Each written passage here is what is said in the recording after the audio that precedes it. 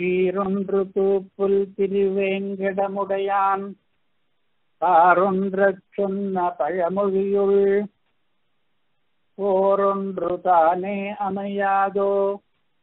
தாரணியில் வாழ்வார்க்கு மானேரப்போமளவும் வாழ்வே. முதலிலே ஆச்சாரிய வந்தனமாக ஒரு புதிய ஸ்லோகம்.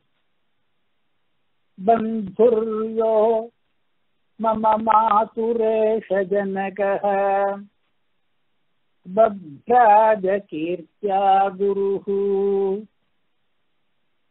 बन्धाम् भङ्क्तुमनाः संसृतिमयानि बह्वाश्रितानां नृणाम्। बन्धुं यो जगतां प्रदर्श्य करणे तस्य प्रपन्नान् व्यधाति बन्धुं स्वाञ्जलमुद्यतोऽस्मि बहुधा तस्मै भयध्वंसिने சற்று பெரிய ஸ்லோகமாகிவிட்டது சார்தூல விக்ரீடித விருத்தத்திலே வழக்கம் போல இந்த ஆச்சாரிய வந்தன ஸ்லோகத்திலேயும் மூன்று சிறப்புகள் இருக்கின்றன ஒன்று சப்தாலங்கார சிறப்பு இரண்டு உபன்யாச விஷய சூசன சிறப்பு மூன்று ஸ்லேஷாலங்கார சிறப்பு இந்த மூன்றும் தவிர நாலாவதாக விரோதாபாச சிறப்பும் இருப்பதை இதிலே காண்பித்து போகிறோம் முதலிலே சப்தாலங்காரம் எப்படி இருக்கிறது என்றால் ஒவ்வொரு பாதமும் பந்த பந்து என்கிற பதங்களிலேயே ஆரம்பிக்கிறது. முதல் பாதம் பந்துர்யோ என்று ஆரம்பிக்கிறது. இரண்டாவது பாதம் பந்தான் பந்தும் என்று ஆரம்பிக்கிறது. மூன்றாவது பாதம் பந்தும் யோ ஜகதாம் என்று ஆரம்பிக்கிறது. நாலாவது பாதம் பந்தும் ஸ்வாஞ்சலிம் என்று ஆரம்பிக்கிறது. எல்லா எல்லாவற்றிலும் முதல் எழுத்தும் இரண்டாம் எழுத்தும் ஒரே மாதிரியாக இருப்பதாலே பாதானுப்பிராசம் என்பது. இது தவிர பதானுப்பிராசம் என்கிற சொல்லணியும் உண்டு. அதாவது ப என்கிற எழுத்து ஆரம்பத்தில் மட்டுமல்லாமல் வேறு பல இடங்களிலும் வந்திருக்கிறது. பப்ராஜ பவினாம் பஹூ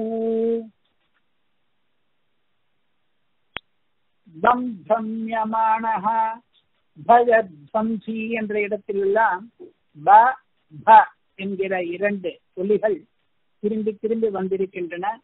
கிட்டத்தட்ட பத்து தடவை ஒரே ஒலி வந்திருக்கிறது. இது பதானுப்பிராசம் என்று சொல்லப்படுவது இப்படி பாதானுப்பிராசமும் பதானுப்பிராசமும் கொண்டிருக்கிறது இந்த ஸ்லோகம். அடுத்ததாக இன்றைய உபன்யாச விஷயத்தை இந்த ஸ்லோகம் சூச்சிக்கிறது குறிப்பால் உணர்த்துகிறது.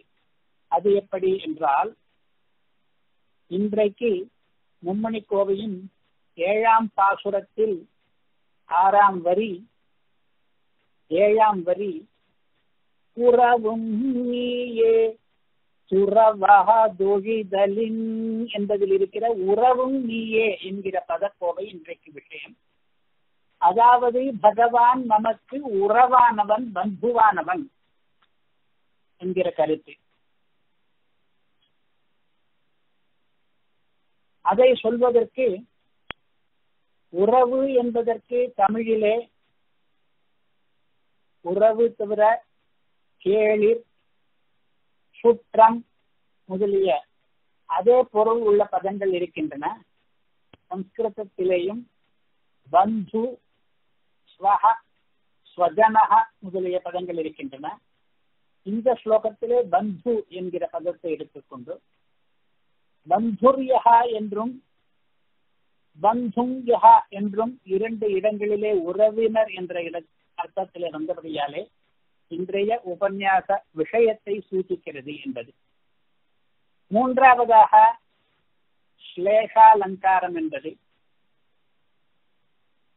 பந்தும் என்கிற பதத்துக்கு இரண்டு அர்த்தங்கள். உறவினரை என்ற அர்த்தம் இப்பொழுது விவரிக்கிறது அது தவிர பந்தும் என்பதற்கு கட்டி போடுவதற்கு பந்தம் பண்ணுவதற்கு என்கிற அர்த்தமும் உண்டு. இங்கே இந்த இரண்டு அர்த்தங்களிலும் பிரயோகமும் இருக்கிறது. இப்படி பந்தும் என்கிற பதத்திலே இதே இரண்டு அர்த்தங்களிலே ஸ்லேடை வேடிக்கை பண்ணுவதற்கு வழி காண்பித்தவர் சுவாமி தேசிகன். அவர் யாதவாபிஷேகத்திலே ஒரு ஸ்லோகத்திலே இந்த வேடிக்கையை வேறு விதமாக பண்ணி இருக்கிறார் அவரை பின்பற்றி ஜெகத்துக்கெல்லாம் பந்துவானவனை நமக்கு காண்பித்தவர் என்னுடைய அஞ்சலி என்கிற பந்தத்தை ஏற்றுக்கொள்ளட்டும் என்று. இப்பொழுது இந்த ஸ்லோகத்தினுடைய அர்த்தம் மதுராந்தகம் திருமலை ஈச்சம்பாடி வீரராகவாச்சாரிய சுவாமி என்பவர் எனக்கு பந்துவானவர் எந்த விதத்திலே பந்து என்று கேட்டால் என்னுடைய தாயாருக்கு தகப்பனாரானவர் அவர் குரு தன்னுடைய கீர்த்தியினாலே விளங்கினார் பப்ராஜா என்றால் விளங்கினார். மேலும் பவம் இருக்கிறதே சம்சாரம் இதிலே தவிக்கிறவர்களை இந்த சம்சாரத்திலே ஏற்பட்ட பந்தானி பந்தங்களை எல்லாம் பங்கும் உடைத்தெறிவதற்காக பன்னிடம் ஆசிரியித்த பகு ஜனங்களை எல்லாம் சிஷ்யர்களை எல்லாம் கடை தேற்றுவதற்காக அவர் என்ன பண்ணினார்? உலகுக்கெல்லாம் பந்துவாக ஒருவர் இருக்கிறாரே பகவான் அவனை அவர்களுக்கு காண்பித்து கொடுத்தது மட்டுமில்லாமல் அந்த பகவானுடைய திருவடியிலே பகவானிடத்திலே அவர்களை சரணாகதர்களாக ஆக்கி வைத்தார். தான் ஆச்சாரிய ஸ்தானத்திலே நின்று கொண்டு. அப்படிப்பட்ட மதுராந்தகம் சுவாமிக்கு அஞ்சலியை பந்தம் பண்ணுவதற்கு இரு கைகளையும் கூப்புவதற்கு நான் இப்பொழுது முனைந்திருக்கிறேன். என்று இந்த ஸ்லோகத்தினுடைய அர்த்தம். இப்பொழுது ஆச்சாரிய வந்தனத்துக்கு அடுத்தபடியாக ஹயக்ரீவ வந்தனம் திஷந்து மே தேவ சதா त्वदीयाः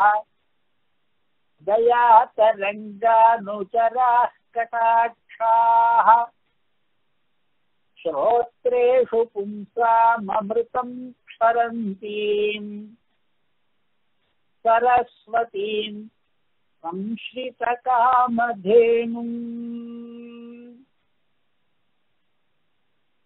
ஹயக்ரீவர் அதாவது பரிமுகன் என்கிற தேவரானவர் கதாட்சாக தன்னுடைய பார்வைகள் மூலமாக சரஸ்வதி பேச்சை அதுவும் பும்சாம் அமிர்தம் கரந்தி பயன் உள்ள பேச்சை பயன் பேச்சை திசந்து அடியனுக்கு கொடுக்கட்டும் அல்லது பயக்கட்டும். பரிமுகனின் பார்வைகள் பயன் பேச்சை பயக்கட்டும் என்று இதனுடைய அர்த்தத்தினுடைய சாரம். இன்றைய உபன்யாச தலைப்பு உறவும் நீயே என்பது. பகவானே நமக்கு சர்வவித பந்துவானவன் என்று இன்றைய உபன்யாசத்தினுடைய விஷயம். நமக்கு லோகத்திலே பல பேர் பந்துக்களாக இருக்கிறார்கள். முக்கியமாக தாயாரும் தந்தையாரும். இவர்களுடைய ஸ்தானத்திலே இவர்களை விட அதிகமாக பாந்தவியம் கொண்டவன் பகவான் என்பதை தாயும் நீயே சாயை பந்துஹத்தலின் என்கிற வரியிலேயும் தந்தையும் நீயே முந்தி நின்றளித்தலின் என்கிற வரியிலேயும் ஏற்கனவே சொல்லியாகிவிட்டது.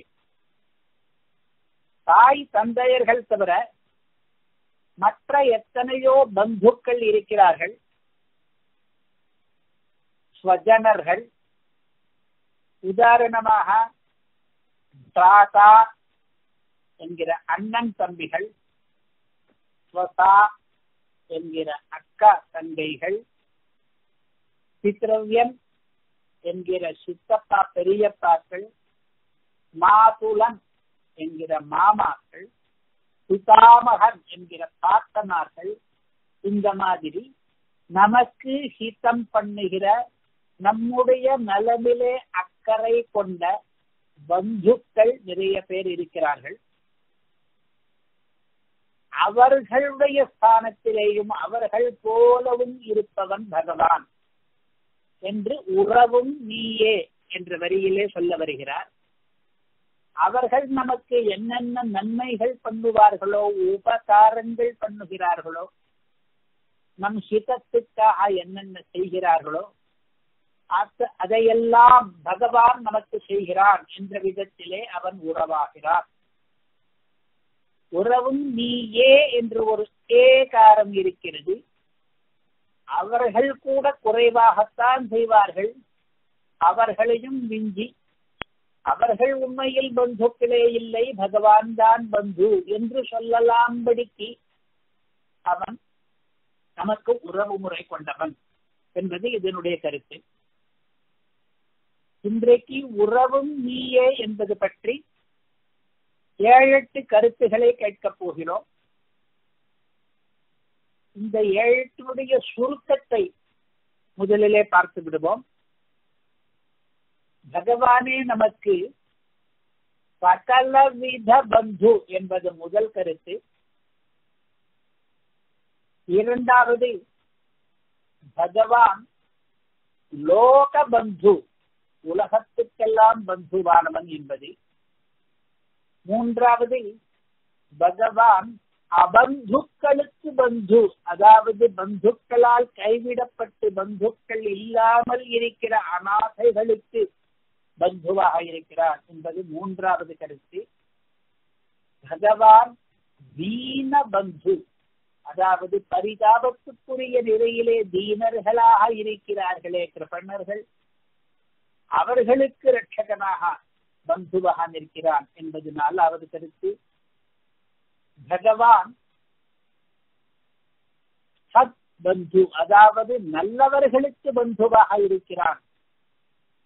தீயவர்களுக்கு எதிரியாக இருக்கிறான் என்பது ஐந்தாவது கருத்து. அதற்கு பிறகு பகவான் மம பந்து எனக்கு பந்து என்று நான் அனுசந்திக்க வேண்டும். பகவானுக்கும் நமக்கும் இருக்கிற பாந்தவியத்தை நாம் அனுசந்திக்க வேண்டும் என்கிற அறிவுரை இருப்பதாலே என்னுடைய பந்து என்று ஒரு கருத்து. இந்த மாதிரியாக மேலும் சில கருத்துகளையும் சேர்த்து இன்றைக்கு ஏழு எட்டு கருத்துகளை பகவான் நமக்கு பந்து என்கிற வார்த்தையிலே நாம் கேட்கப் போகிறோம். இப்பொழுது முதலாவதாக பகவான் சகலவித பந்து என்ற கருத்து. சகலவித பந்து என்றால் தாய் தந்தை தாத்தா பாட்டி அண்ணா அக்கா தங்கை தம்பி முதலிய எத்தனை விதமான உறவு முறைகள் இருக்கின்றனவோ அத்தனை விதங்களிலும் அவனே உறவாகிறான் என்கிற கருத்து முதல் கருத்து. இந்த கருத்து சுதாரோபனிஷத் என்கிற ஒரு உபனிஷத்திலே சொல்லப்பட்டது இன்னும் பலவற்றிலும் இருக்கலாம். அவ்வளவு பிராச்சீனமான வைதிகமான கருத்து. சுப சுதாலோபனிஷத்திலே மாதா பிதா தாத்தா நிவாச சரணம் சுகிருத்து என்கிற வதி இருக்கிறது. அதிலே தாயும் தந்தையும் அண்ணனும் வாழ்விடமும் புகலிடமும் நண்பனும் எல்லாமானவன் நமக்கு பகவான் என்ற கருத்து தெரிவிக்கப்பட்டிருக்கிறது. இந்த சுபாலோபனிஷத் வாக்கியத்தை பின்பற்றி பகவத்கீதையிலும் கண்ணன் அர்ஜுனனிடம் சொல்லுகிறார் இதில் இருக்கிற நிவாச சரணம் சுகிருதி என்கிற அந்த பாதத்தை மாற்றாமல் அப்படியே கீதையிலும் பிரயோகம் பண்ணி இருக்கிறார் ஆனால் தாதா என்பதற்கு பதில் வேறு இரண்டு உறவுகளை சொல்லுகிறார். பிதாமகா என்று ஒன்று பர்த்தா என்று ஒன்று அது தவிர பிரபு என்று ஒன்றை சொல்லுகிறார். பிதா மாதா ஆதா பிதாமகா என்று ஒன்பதாவது அத்தியாயத்திலே இந்த ஸ்லோகம் ஆரம்பிக்கிறது. நான் உலகத்துக்கு சகலவித பந்துவாகவும் இருக்கிறேன். பிதாவாக இருக்கிறேன் மாதாவாக இருக்கிறேன் தாத்தாவாக அதாவது படைப்பாளியாக இருக்கிறேன். பிதா மகனாக அதாவது பாட்டனாராக இருக்கிறேன். அதே போல தாத்தாவாக பர்த்தாவாக தாங்குபவனாக இருக்கிறேன் அல்லது கணவனாக இருக்கிறேன். பிரபுவாக இருக்கிறேன். பயனளிப்பவனாக சாட்சியாக இருக்கிறேன். எல்லாவற்றையும் கண்டு கொண்டிருப்பவனாக அதற்கு பிறகு சுபாலோபனிஷத்திலே சொன்னது போலே நிவாசமாகவும் சரணமாகவும் சுகுருத்தாகவும் எல்லா விதமான பந்துவாகவும் நான் இருக்கிறேன் என்பது கண்ணனுடைய திருவாக்கு. இப்படி சுபாலோபனிஷத்திலும் பகவத்கீதையிலேயும் சொன்ன கருத்தை நிறைய ஆச்சாரியர்களும் அனுமதித்திருக்கிறார்கள் அவன் சகலவித பந்துவானவன் என்பதை. இப்பொழுது நாம் கேட்கப் போகிற ஏழு எட்டு கருத்துகளிலே முதலாவது முடிந்தது அவன் உறவு என்று சொல்லும் பொழுது எந்த வகையில் உறவு என்று கேட்டால் எல்லாவித பந்துமானவன் என்று. எல்லாவித பந்துமானவன் என்பதற்கு ஆறு விதம் நாம் சொன்னோம். தாயானவன் தந்தையானவன் படைப்பாளியானவன் பாட்டனாரானவன் சமயன் ஆனவன் பிரபுவானவன் என்றெல்லாம். இந்த இதில் ஒவ்வொன்றிலும் பகவானுடைய ஒவ்வொரு திரு குணம் வெளிப்படுகிறது. தாயானவன் என்பதிலே என்ன குணம் வெளிப்படுகிறது என்றால் தன்னுடைய வயிற்றிலே நம்மை வைத்து காத்து நமக்கு சாயை தந்து உகந்தான் என்கிற குணம் வெளிப்படுவதை ஏற்கனவே ஒரு வரியிலே கேட்டாயிற்று. அவன் தந்தையானவன் என்பதிலே என்ன கருத்து என்றால் அவன் நமக்கு முந்தி நின்று அளிக்கிறான் என்ற கருத்து. அதையும் போன வரியிலே கேட்டாயிற்று. இப்பொழுது அவன் சமயனானவன் என்பதில் என்ன கருத்து என்றால் பாசத்தை பொழிகிறான் என்ற கருத்து. நமக்கு வயசியனாக இருந்து கொண்டு பாசத்தை பொழிகிறான் என்று. அவன் பிதாமகனானவன் என்ற என்பதில் என்ன கருத்து என்றால் நமக்கு நிறைய உபதேசங்களை பண்ணுகிறான். எப்படியானால் பாட்டனாரானவர் நமக்கு நிறைய கற்றுக் கொடுப்பாரோ அறிவுரைகளை வழங்குவாரோ? அதுபோலே பகவானும் பகவத்கீதை என்றும் ஸ்ரீ பாஞ்சராத்திரம் என்றும் பல கிரந்தங்கள் மூலமாக நமக்கு பாட்டனார் ஸ்தானத்திலே இருந்து கொண்டு ஒரு பாட்டனார் செய்யக்கூடிய உதவிகளை எல்லாம் செய்கிறார் என்று அர்த்தம். அவன் பிரபுவாக இருக்கிறான் என்றால் நமக்கு பயன்களை வாரி வழங்குகிறான் பல பிரதாதா என்று அர்த்தம். அவன் சுகுர்த்தாக இருக்கிறான் என்றால் நமக்கு இடுக்கண் நேரும் போதெல்லாம் ஏதாவது கஷ்டங்கள் வரும் போதெல்லாம் கூட தோல் கொடுக்கிறான் என்று அர்த்தம். இந்த மாதிரி உறவு முறை ஒவ்வொன்றுக்கும் அவர்கள் செய்யும் உதவி முறை ஒவ்வொன்றாக இருப்பதால் பகவான் சகலவித பந்துவானவன் என்று சொல்லும் பொழுது அத்தனை உறவு முறைகள் செய்கிற உதவி முறைகளையும் பகவான் நமக்கு செய்கிறார் என்ற பொருளை நாம் புரிந்து கொள்ள வேண்டும். இப்பொழுது உறவும் நீயே என்பதற்கான இரண்டாவது கருத்தை ஆரம்பிக்கிறான். அவன் யாருக்கு பந்து என்று. முதல் கருத்திலே அவன் எந்தெந்த விதமான பந்து என்பதை பார்த்தோம். இரண்டாவது கருத்திலே அவன் யார் யாருக்கெல்லாம் பந்துவாக இருக்கிறான் என்று.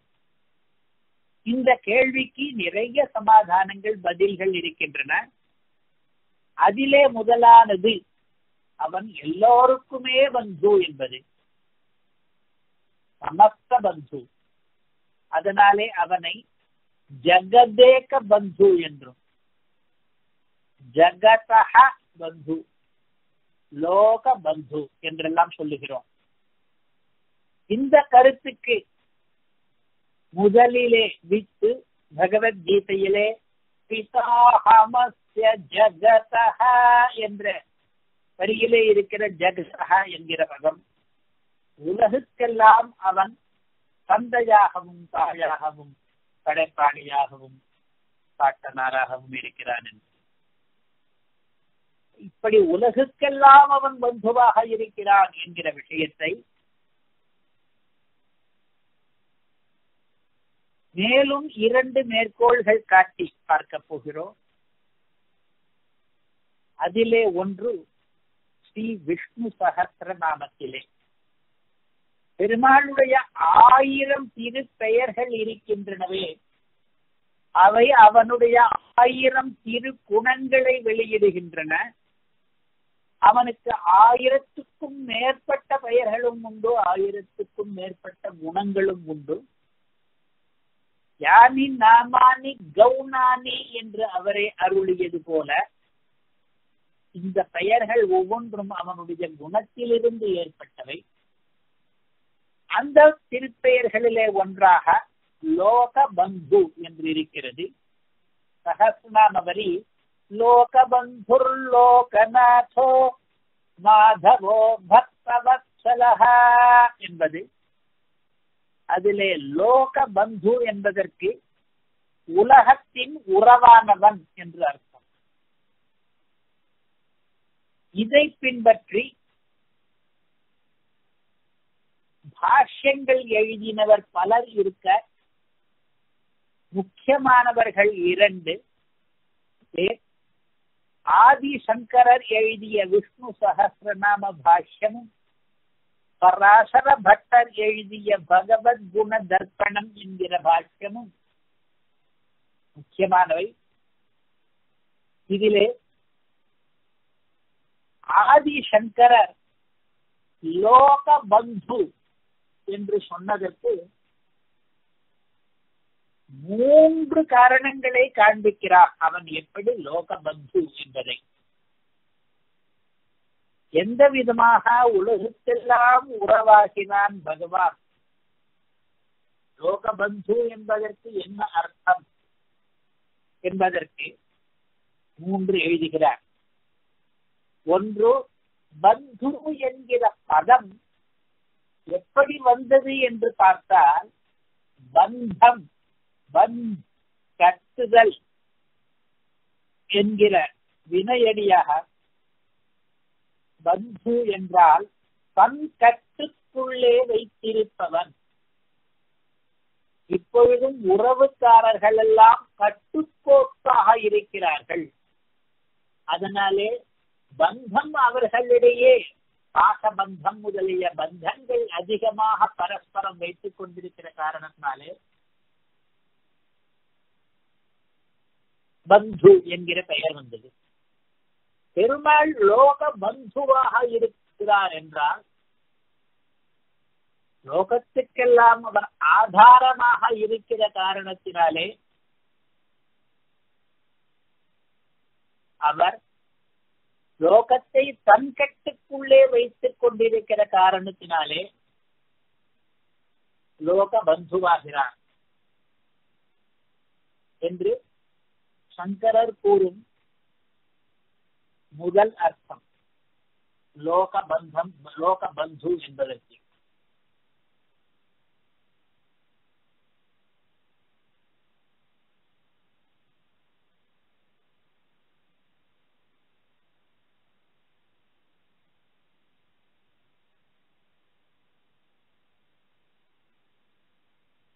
சங்கரர் கூறுகிற இரண்டாவது அர்த்தம்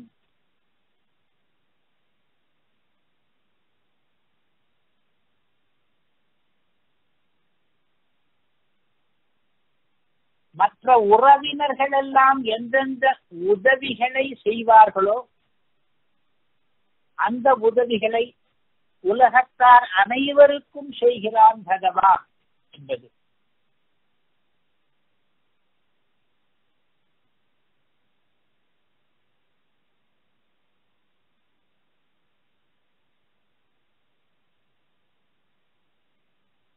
அவருடைய வாக்கியம் உலகத்தை அவர் படைக்கிற காரணத்தினாலே உலகத்துக்கு பிதாவாகிறார் இத்தியாதியாக பந்துவாகிறார் உலகத்திலே பந்து கிருத்தியம் இருக்கிறதே ஹித உபதேசம் அஹித உபதேசம் என்றெல்லாம் ஸ்ருதி ஸ்மிருதிகள் மூலமாக இவற்றை செய்கிறார். இத்தகைய காரணங்களாலே பந்து பத நிஷ்பத்தியாலும் உண்மையாகவே பந்து ஆவதாலும் பந்து செய்கிற காரியத்தை எல்லாம் இவரும் செய்வதாலும் இவர் லோக பந்து என்று சொல்லப்படுகிறார் என்பது சங்கரருடைய பாக்கியம். ஸ்ரீ விஷ்ணு சகசிரநாம நிருப்தி என்பதிலேயும் லோக பந்து என்பதற்கு அவர் அவர்ஜனீயமான உறவு முறை கொண்டவர் என்று பகவத்குண தர்ப்பணத்திலே இருப்பதை பின்பற்றி ஸ்லோகம் இருக்கிறது. இவ்வாறாக அவர் உலகத்துக்கெல்லாம் பந்துவானவர் என்பதை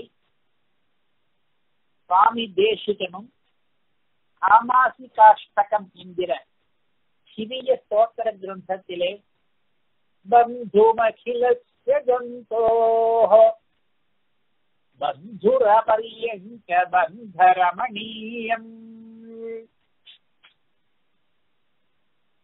என்கிற ஸ்லோகம் மூலமாக தெரிவிக்கிறார் அவர் அகிலசிய ஜந்தோஹோ எல்லா ஜந்துவுக்கும் பந்துவாக இருக்கிறார் இந்த ஸ்லோகத்திலே பந்து பந்துர பந்த என்று மூன்று பதங்கள் ஒன்று ஒரே மாதிரியாக அமைந்திருக்கின்றன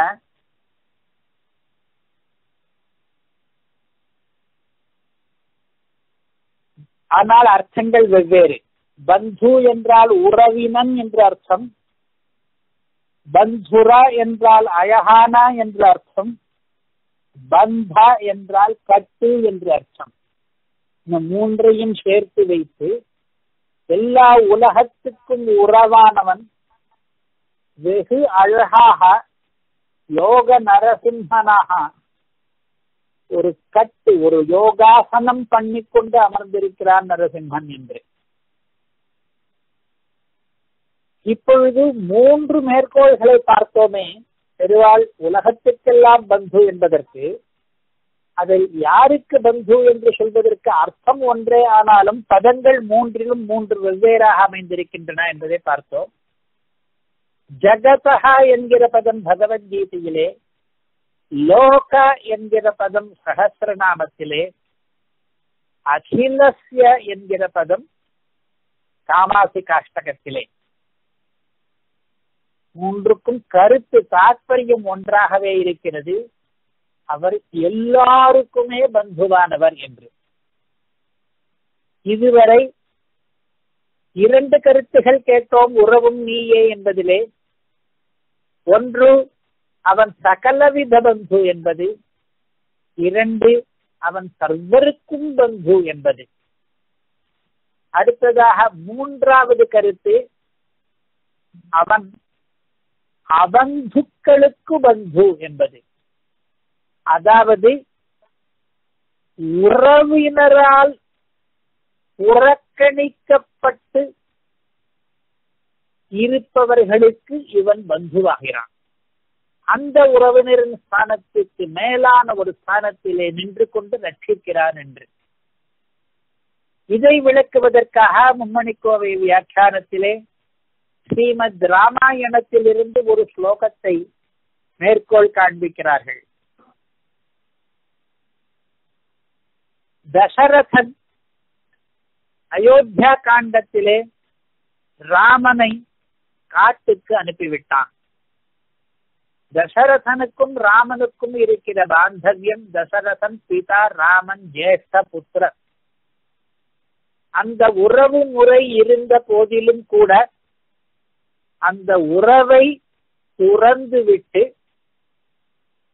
ராமனை காட்டுக்கு அனுப்பிய காரணத்தினாலே லக்ஷ்மணனுக்கு தன்னுடைய தந்தையிடம் வெறுப்பு ஏற்படுகிறது. அப்பொழுது லக்ஷ்மணன் சொல்லுகிற ஒரு ஸ்லோகமானது பிரசித்தமாக இருக்கிறது. அகம் தாவது மகாராஜே பித்ருத்வம் நோபலக்ஷயே என்று சொல்லிவிட்டு இரண்டாவது அர்த்தத்திலே தனக்கு பிதா திராதா முதலிய எல்லா உறவும் ராமன் ஒருவன்தான் என்று சொல்லி முடிக்கிறான் லக்ஷ்மணன். தசரதனை சொல்லும் பொழுது மகாராஜே என்கிறான். அவன் மகாராஜன் என்பதை ஒப்புக்கொள்கிறான் அந்த விதத்திலே சம்பந்தம் இருக்கிறது. ஆனால் பிதிருத்வம் என்பது போய்விட்டது. பிதிருத்வம் என்றால் தந்தை தன்மை. தந்தையாக இருக்கும் யோக்கியதையை தகுதியை இழந்து விட்டான் தசரதன். என்கிற கருத்திலே மகாராஜனிடத்திலே பிதிருத்வத்தை நான் காண்பிக்கவில்லை. நான் காணவில்லை. ந உபலக்ஷையே. பிதிருத்தம் அவரிடம் இல்லை என்கிறார் லக்ஷ்மணன். அதை சொல்லிவிட்டு எனக்கு எல்லாவித பந்துவும் ஆனவன் ராமனே என்று சொல்லி முடிக்கிறார் இதை மேற்கோள் காட்டி வியாக்கியாதாக்கள் உறவு விட்டு போனவர்களுக்கு உறவாக இருக்கிறவன் பகவான் மட்டுமே என்பதை காண்பிக்கிறார்கள். அதை சூசிப்பது போல மும்மணி கோவையிலே உறவும் நீயே துறவாதொழிதலின் என்று இருக்கிறது. மற்ற உறவுக்காரர்கள் தசரதன் போன்றவர்கள் உறவை துறக்கக்கூடும் ஆனால் நீ உறவாக இருக்கும் பொழுது அந்த உறவை துறவாமல் இருக்கிறபடியாலே நீயே எங்களுக்கெல்லாம் உறவு என்கிறார் இதுவரை உறவும் நீயே என்பதற்கு மூன்று கருத்துகளை கேட்டோம்.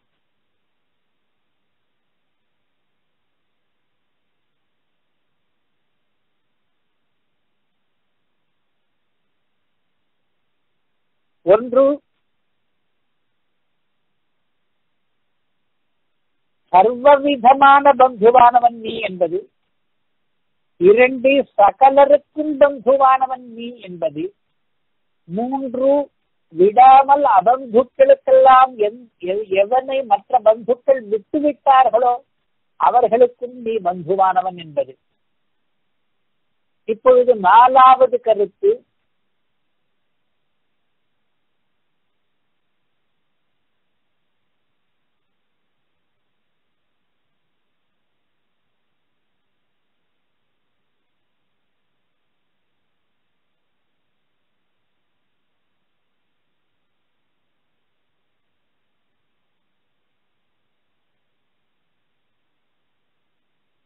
அவன் தீனபந்து என்கிற கருத்து. பரிதாப நிலையில் இருப்பவர்களுக்கு பந்துவாகிறான் இதையும் ராமாயணத்தில் ஒரு நிகழ்ச்சி மூலமே புரிந்து கொள்வது சுலபம். கிருஷ்ணிந்தா காண்டத்திலே இந்த நிகழ்ச்சி. வாலி சுக்ரீவன் என்கிற இரண்டு குழந்தைகளும் அண்ணன் தம்பிகள். ஆனால் அவர்கள் இருவரிடையே பலிஷ்டனாகவும் அண்ணனாகவும் இருந்த வாலியானவன் சுக்ரீவனை தவறாக புரிந்து கொண்டு அவனை விரட்டி அடித்தான். துஷ்கிந்தா காண்டத்தில் கதை இப்படி இருக்க அந்த சமயத்திலே சீதையை இழந்து பிரிவாலே வாடுகிற ராமனானவன் அந்த கிஷ்கிந்தா ராஜ்யத்தின் அருகில் வந்தான்.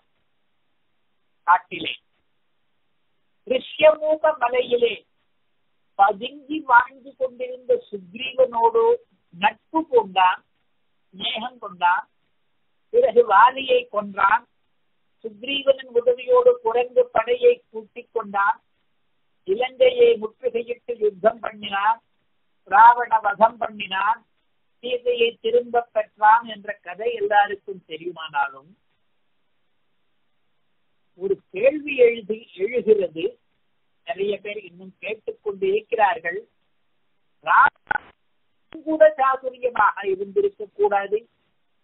சுக்ரீவனோட நட்பு பூம்பதற்கு பதிலாக வாலியுடனேயே அவன் நட்பு பூண்டிருந்தால் ராவணனை வழிக்கு கொண்டு வருவது மேலும் சுலபமாக ஆகியிருக்குமே. ஏனென்றால் வாலி ஏற்கனவே ராவணனை ஜெயித்து தன் வசத்தில் வைத்திருப்பவன்.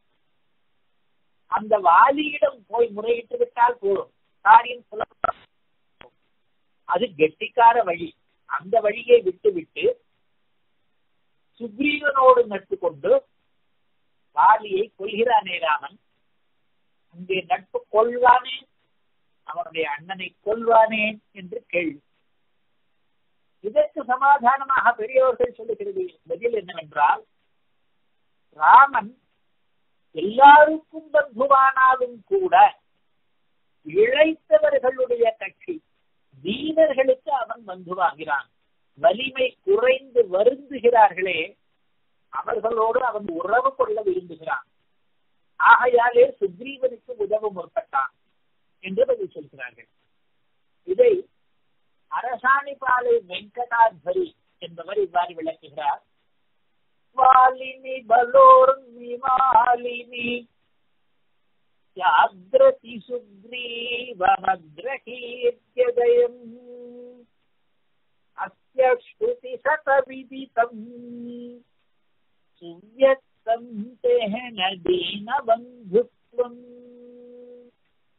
என்று விஸ்வகுணாதர்ச சம்பு என்கிற காவியத்திலே இதனுடைய அர்த்தம் என்னவென்றால் வாஸ்தவம்தான் சுக்ரீவனை விட வாலி பலசாலிதான் அவனை வலிமையின் கடல் என்று கூட சொல்லலாம். பலோர் மிமாலினி இருந்தாலும் கூட அவன் கிஷ்கிந்தையை ஆண்டு கொண்டிருக்கும் பொழுது அவனிடம் பயந்து ரிஷ்யமூக மலையிலே பதுங்கி இருக்கிறானே சுக்ரீவன். இதெல்லாம் தெரிந்தும் கூட ராமன் சுக்ரீவனின் உதவியே நாடுகிறான். ஏனென்றால் ராமன் பரிதாப நிலையில் இருக்கும் சுக்ரீவனுக்கு உதவுவதற்கு விரும்புகிறான். அது ஏனென்றால் ராமன் தீன பந்து கடவுள் தீனர்களுக்கு உதவுகிற குணமுடையவர் என்பது வேதத்திலே பறைசாற்றிய விஷயம். ஸ்ருதி சத விதித்தம் ஸ்ருதி நிறைய வேதங்களிலே விதித்தும் நன்றாக தெரிந்திருப்பது காண்பிக்கப்பட்டது என்ன என்றால் தீனபந்துத்வம். பெருமாளுடைய தீனபந்து தன்மையானது சதங்களிலே காண்பிக்கப்பட்டது. அது ராமாவதாரத்திலும் இந்த விற்பாந்தத்தின் வாயிலாக ஸ்பஷ்டமாகிவிட்டது. இப்போது நாலாவது கருத்து நமக்கு புரிகிறது. எல்லோருக்கும் பந்துவாக இருக்கிற பகவான் தீனர்களுக்கு விசேஷித்து பந்துவாகிறான் என்று. இனி ஐந்தாவது கருத்து உறவினர்களாலே எதிர்க்கப்பட்டவனுக்கு தானே உறவாகிறான். இதை வாலி சுக்ரீவ நிகழ்ச்சியில் போலவே கிருஷ்ணாவதாரத்திலேயும் காணலாம். அர்ஜுனனை எதிர்த்தார்கள் துரியோதனன் பீஷ்மர் முதலிய உறவினர்கள் மகா யுத்தத்திலே அர்ஜுனனோ அவர்களை தன்னுடைய உறவினர்களாகவே கருதிய காரணத்தாலே கொல்வதற்கு தயங்குகிறான் ஸ்வஜனம் ஹி கதம் அஸ்ம ஹத்வா மாதவா. அர்ஜுனன் கேட்கிறான் சொந்தக்காரர்களை எல்லாம் கொன்ற பிறகு நிம்மதியாக எப்படி வாழ முடியும் மாதவா? என்று கிருஷ்ணனிடம் கேட்டான். இந்த கேள்வி பகவத்கீதைக்கு விதை போட்டது. இந்த தருணம் இருக்கிறதே கீதோபதேசத்துக்கு பீட்டிகையான அவகாசம். இதை தேசிகன் கொடுக்கிற பாங்கை கவனிக்க வேண்டும். இந்த இடத்திலே முக்கியம் அவர் உறவை பற்றித்தான் பேசுகிறார். உகவையடைந்த உறவுடையார் பொருளுற்றவன்னாள் இது தேசிக பிரபந்தத்திலே கீதார்த்த சங்கிரகம் என்ற நூலிலே. உறவுடையானவர்கள் பீஷ்மர் முதலானவர்கள். அவர்கள் யுத்தத்துக்கு வந்தார்கள் பாண்டவர்களுக்கு எதிராக. அதற்கு அவர்கள் சிறிதும் வருந்தாமல் உகவையுடன் பொருந்தினார்கள் உகவுடன். உகவு என்றால் சந்தோஷம். பொருந்தினார்கள் யுத்தம் பண்ணினார்கள். ஆனால் மாறாக அர்ஜுனன் கலங்கினான். அவன் உறவை மதித்த காரணத்தாலே தயங்கினான். கிருஷ்ணன் கூட அர்ஜுனனுக்கு உறவினன் தான் அர்ஜுனனும் கிருஷ்ணனும் அத்தான் அம்மாஜிகள். கிருஷ்ணன் அந்த உறவுக்கும் மேலே பரமாத்மாவுக்கும் ஜீவாத்மாவுக்கும் உள்ள உறவு இருக்கிறதே அதையும் மதித்தான். ஆகையாலே எதிர்த்த உறவினர்கள் போல் ஆகாமல் அர்ஜுனனுக்கு மதித்த உறவினனாகி கீதையை உபதேசித்தான் அந்த கீதையிலே தானே எல்லாருக்கும் உறவினன் என்பதையும் போதித்தார். உறவுகளுக்குள்ளே இருக்கும் பல வகைகள் அர்ஜுனனுக்கு புரிய ஆரம்பித்தது. அவர்கள் பீஷ்மர் முதலானவர்கள் எல்லாம் தற்காலிகமாக ஒரு ஜென்மத்தில் மட்டும் உறவானவர்கள். பகவானோ சாஸ்வதமாக எல்லா ஜென்மங்களிலும் உறவாகி நிற்பவர். என்று ஒரு வித்தியாசம் புரிந்தது. அதற்கு மேல் இன்னொரு வித்தியாசமும் புரிந்தது. அந்த தாற்காலிக உறவினர்கள் அந்த சின்ன காலத்துக்குள்ளேயே உறவை துறந்து யுத்தம் பண்ணுகிறார்கள். ஆனால் நிரந்தர உறவினரான பகவானோ என்றைக்கும் தன்னுடைய உறவை துறப்பதே கிடையாது. உறவும் நீயே துறவாதொழிதலை என்று மும்மணி கோவை வரி.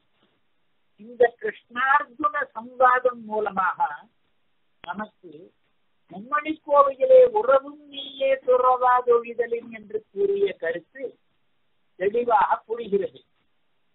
இதுவரை உறவும் நீயே என்பதிலே ஐந்து கருத்துக்களை கேட்டோமே. அந்த ஐந்தையும் மறுபடி ஒரு தடவை நினைவுபடுத்திக் கொள்ளுவோம். பகவான் சகலவித பந்து பகவான் அபந்துக்களின் பந்து பகவான் லோக பந்து பகவான் தீன பந்து பகவான் உறவு என்று ஐந்து கேட்டோம் வேறு யாரும் பகவானை போலே சகலவித பந்துவாக முடியாது பகவானை போலே பந்து பரிச்சத்தர்களுக்கெல்லாம் பந்துவாக முடியாது. பகவானை போலே லோக பந்துவாக முடியாது. பகவானை போலே தீன பந்துவாக முயலலாம்.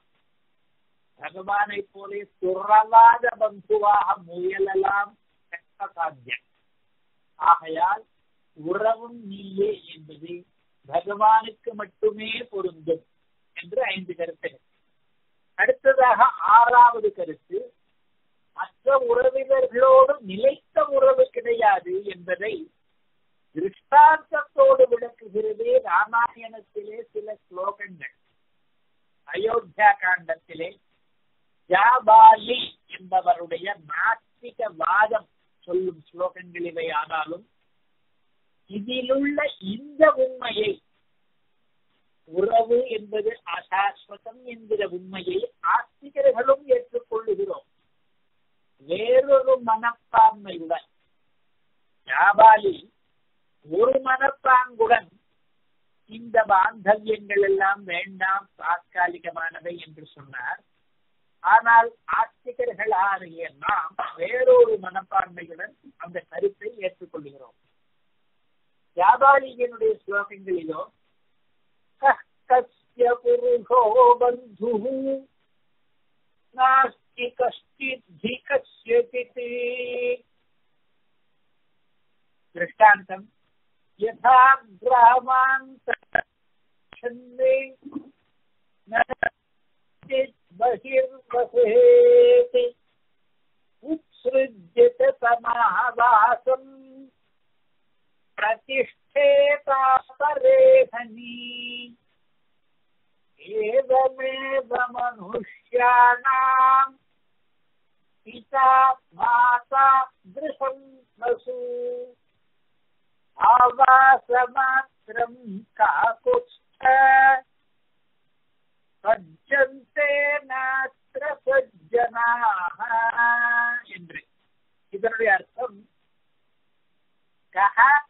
கஷ்ய பந்து எவன் எவனுக்கு உறவு?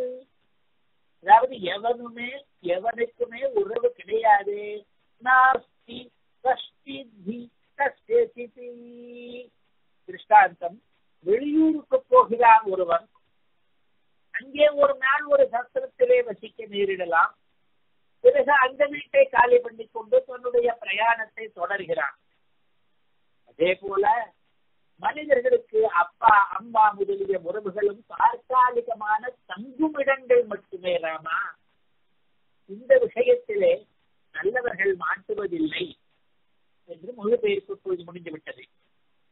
இதற்கு பிறகு இதே ஜாபாலி கூறுகிற எத்தனையோ நாஸ்திக கருத்துக்களை ஏற்கக்கூடாது என்று ராமர் மறுத்துவிட்டார் அதற்கடுத்த சப்ஜத்திலே ஆனால் இந்த ஸ்லோகங்களிலே உள்ள கருத்து ஆஸ்திகர்களுக்கும் ஏற்புடையதே.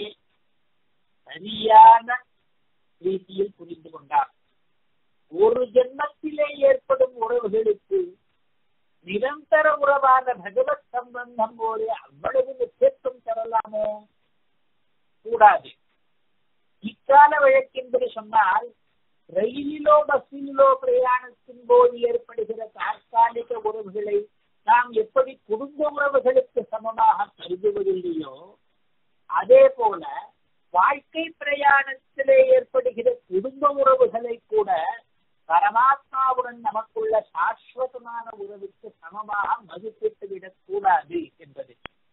இந்த காரணத்தாலே பகவான் மட்டுமே நமக்கு உறவு என்கிறார் அர்த்தத்திலே உறவும் நீயே என்று ஏகாரம் இருக்கிறது இந்த ஸ்லோகத்திலும் அதாவது ஜாபாலி சொன்ன ஸ்லோகத்திலும் ஒரு வார்த்தை வேடிக்கை இருக்கிறது அதையும் நாம் உபேட்சிக்காமல் புரிந்து கொள்ள வேண்டும் ஏனென்றால் வார்த்தை விளையாட்டுகள் நம்முடைய கவனத்தை அந்த கருத்திலே ஈர்ப்பதற்காக அமைக்கப்பட்டவை சஜ்ஜந்தே சஜ்ஜனாக என்னும் பொழுது சஜ்ஜன பதம் இரண்டு தடவை வெவ்வேறு அர்த்தங்களிலே வந்தது வடமொழி இலக்கணத்திலே கர்த்தரி யூட் என்கிற ஒரு பிரத்யேக மிகுதி இருக்கிறது துரியோதனன் என்ற பெயரிலே யோதன என்பது யுத்தம் பண்ணுபவன் என்ற அர்த்தத்திலே வந்தது அதுபோல சஜ்ஜிக்கிறவன் சஜ்ஜனன் சஜ்ஜிக்கிறவன் என்றால் தயார்படுத்துபவன் அப்படி வரலாமா இருக்க விபரீதமாக சஜ்ஜனர் சஜ்ஜிக்க மாட்டார் என்கிறது இந்த வாக்கியம் இது விரோதாபாசம் தருகிறது உண்மையான அர்த்தம் பார்த்தால் இந்த முரண் அமைந்து விடுகிறது நன்மக்கள் தயாராக மாட்டார்கள் என்பது இந்த வேடிக்கை மூலம் என்ன நீதி என்றால் தாற்காலிக உறவுகளுக்கு அதிக முக்கியத்துவம் தர வேண்டாம் என்கிற நீதி அது நம் மனசிலே ஆழ்வாக படிவதற்கா இந்த வேடிக்கை இதுவரை பகவான் சர்வவித பந்து என்றும் சர்வலோக பந்து என்றும் பந்துத்தியர்களுக்கு பந்து என்றும் தீன பந்து என்றும் தெஜிக்காத பந்து என்றும் சாஸ்வதமான பந்து என்றும் ஆறு கருத்துகளை பூர்வர்களின் சூழ்ச்சிகளின் வாயிலாக புரிந்து கொண்டோம். இப்போது ஏழாவது கருத்து பகவான் நல்லவர்களின் பந்து என்பது. நல்லவர்களுக்கு பந்து தீயவர்களுக்கு எதிரி கூட. யாதவாபிஷேகத்திலே ஒரு ஸ்லோகம் ஒரு பாதி ஸ்லோகம். குலூகலே புத்திர பந்தும் சுதாம் பந்துமியேஷ மாதா இதனுடைய அர்த்தம் யசோதை கிருஷ்ணனுடைய விஷமத்தனத்தை தாங்க முடியாமலே ஒரு உடலிலே அந்த குழந்தையை கட்டி போட நினைத்தாள். மாதா என்றால் அம்மா யசோதை. இதை சொல்லும்போது கிருஷ்ணனை என்று சொல்லாமல் பந்தும் என்கிற வார்த்தையை இட்டிருக்கிறார் நல்லவர்களுடைய பந்துவான பகவானை என்று. அப்படி பந்துவாய் இருக்கிறவனை கட்டி போட நினைத்தார். ஏதோ ஒரு பாக்கியசாலியான உரலிலே கட்ட விரும்பினாள்.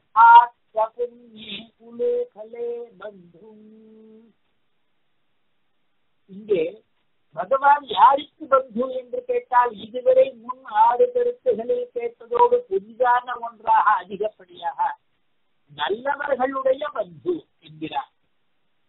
நல்லவர்களுக்கு நன்மை செய்பவர் என்று கருத்து. இதை கூறும்போது ஒரு ஸ்லேடை வேடிக்கை சேர்த்திருக்கிறார். ஸ்லேடைகளை நுழைப்பது காரணமாகத்தான். இங்கே என்ன ஸ்லேடை என்றால் பந்தும் என்பதற்கு ரெண்டு அர்த்தங்கள் உறவினரை என்று ஒன்று கட்டி போடுவதற்கு என்று இன்னொன்று.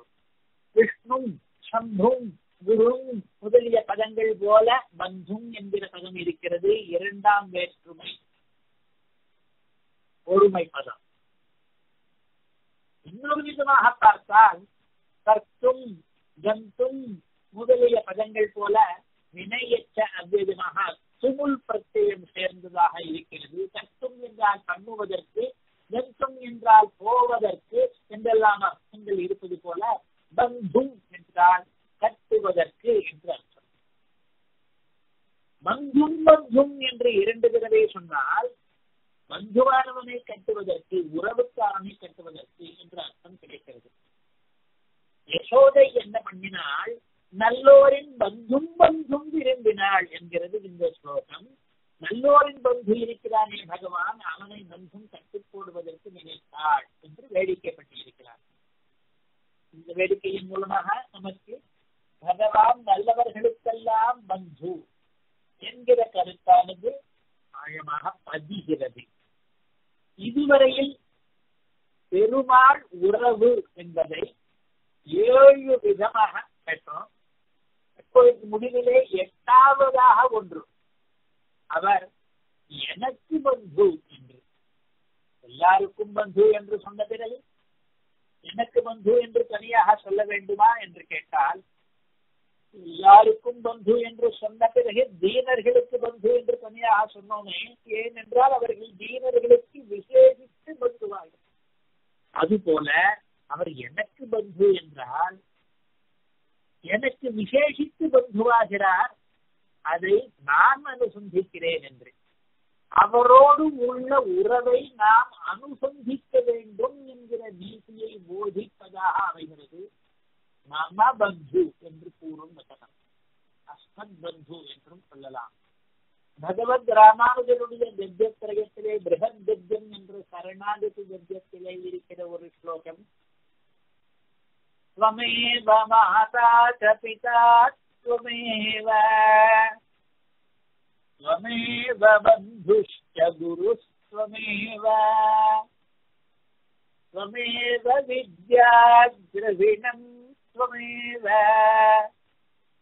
त्वमेव सर्वं मम देव पितासि लोकस्य चरमा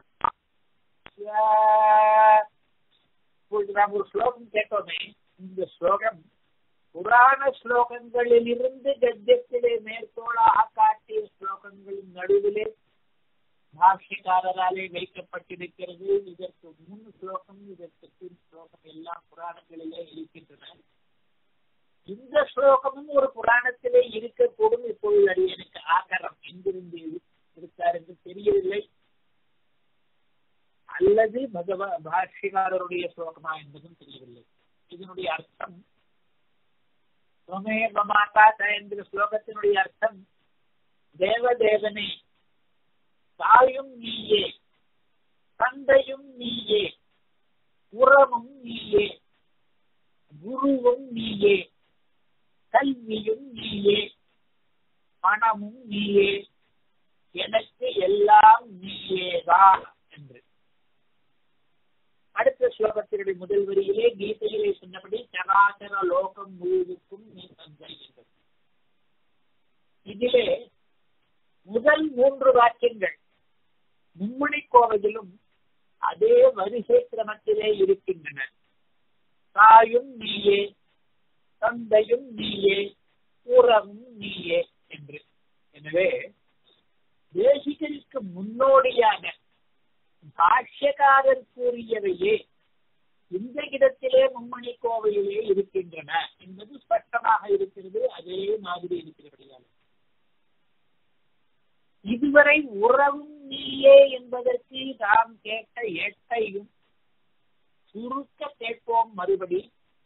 பகவான் சர்வவித பந்து லோக பந்து அபந்துக்களின் பந்து தீன பந்து விட்டுவிடாத பந்து சாஸ்வத பந்து நல்லவர்களுக்கு பந்து எனக்கு பந்து என்று எட்டு. உறவும் நீயே. என்பதிலே இந்த எட்டும் அடங்கி இருக்கின்றன என்பது இன்றைக்கு இதுவரை பார்த்தவற்றின் சாரம். தமிழிலே ஒரு பழமொழி இருக்கிறது.